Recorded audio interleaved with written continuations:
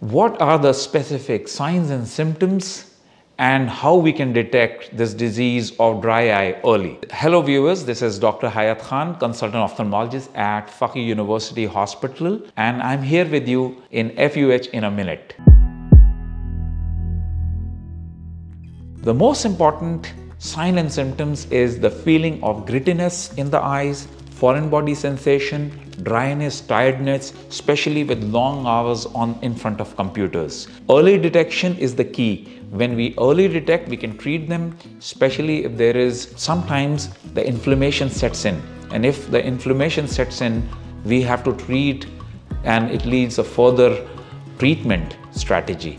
So it's very important to early detect and to early treat these cases.